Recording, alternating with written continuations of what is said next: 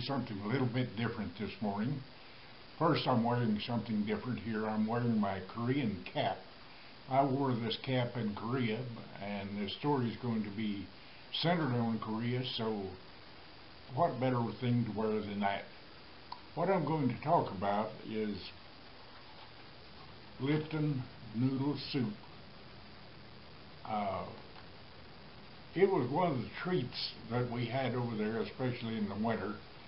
Uh, my mother would write me a letter every week, and it would come in and it'd have a little packet of Lipton chicken flavored noodle soup in it.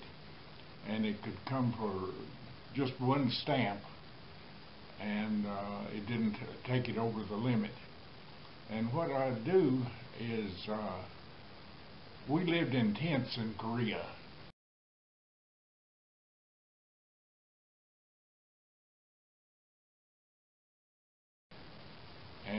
wintertime it would snow and it was cold and we did have heat there. We had a pot-bellied stove that operated on uh, diesel barrels set outside the uh, tent and hooked up with a hose and and it gave some it's kind of like the old-fashioned pot-bellied stove you'd be warm on one side and cold on the other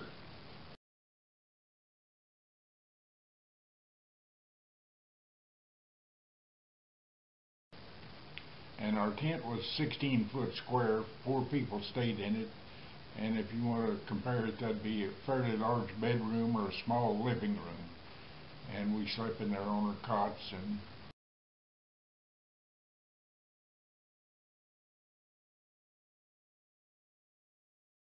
uh, slept in uh, sleeping bags. We had what they called an Arctic sleeping bag, which is supposed to be good down to uh, uh, 20 degrees, and it did a pretty good job down to that. But the uh, guys up north, up uh, toward the Yalu River, fighting the Chinese, it got to 20 below up there quite often. And actually, we lost more people from freezing to death in their tents than we did from gunfire. More of the more of the men died in Korea from freezing than they, than from actual war. But anyway, what we do is, uh, or what I do, is I'd take my canteen cup, fill it about half full of water, set it on this uh, pot-bellied stove, and as soon as it got hot, I would take one of those packets of soup mix, pour it in there, stir it in, and let it uh, simmer for a little bit. And man, I'll tell you what, on a cold winter night, there is nothing better than uh, that cold, that hot noodle soup. And uh, I, I went ahead and made some here that uh, on the stove. I didn't figure there's anything, any thrill watching soup boil, so I didn't even videotape that.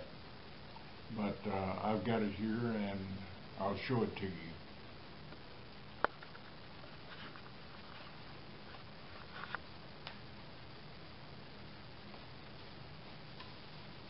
Okay, now the thing about these canteen cups, they do get hot. And so the handles of them get hot, they're all aluminum and everything. And uh, this is a little hot, so uh, I'm going to have to be careful with it.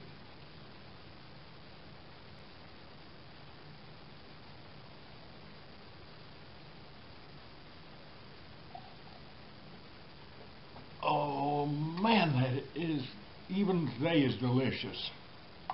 This had time to cool a little and it's really it's drinkable now.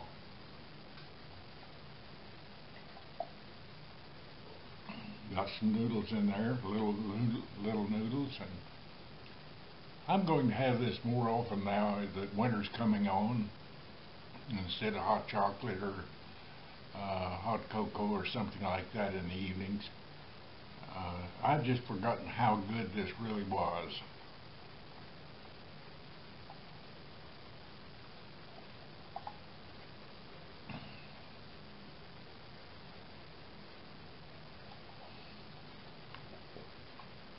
So I'm going to finish my soup.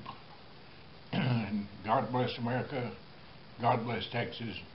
And where else would you find a sign like this other than in Texas? You folks have a great day. Bye.